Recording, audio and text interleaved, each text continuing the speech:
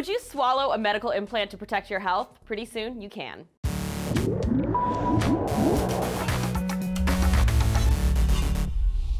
Hey, this is Annie for D News. We know that even common medications can have side effects that aren't fun. You know, those ones that pharma companies spit out at the end of their ads as quickly as humanly possible. And exacerbating this is the fact that about half of people take meds incorrectly anyway, according to one survey by the World Health Organization. Scientists are working on this problem, though, in the form of smart meds or even implants. A team from the American Chemical Society built nanosheets that combined anti-inflammatory drugs with electrodes through a polymer film. They were then able to control the release the drug through electrical shocks. It's still in the development stage, but they say this technique could be useful in treating diseases like epilepsy, where a medication is already in your body and can be released right away as a seizure happens.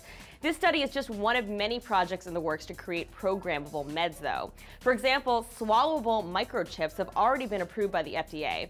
A company called Proteus Digital created microchip embedded pills with tiny sensors that can react to digestive juices. That relays a signal to a patch on your skin, which can then be relayed to your doctor. So if something's awry or if you're not doing your meds correctly, they can get alerted automatically. And in 2012, scientists built tiny nanobots out of human DNA. These act kind of like a Trojan horse they look and act like normal DNA, but hold enzymes that can treat cancer. These are still in the development stage too, but doctors are hopeful that these treatments can be programmed to attack cancer on the molecular level.